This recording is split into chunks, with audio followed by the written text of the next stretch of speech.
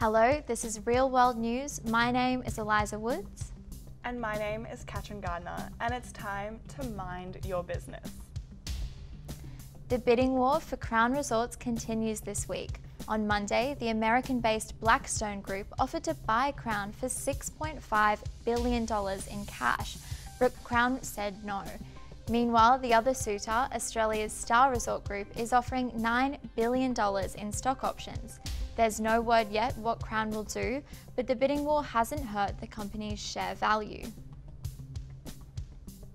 From Canberra, good news for Australia's last two oil refineries, as Prime Minister Scott Morrison announced this week that he's giving them $2.3 billion to stay open.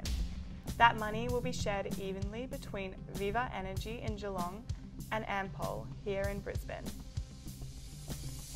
News now from the World Health Organization. Apparently, we are all working ourselves to death.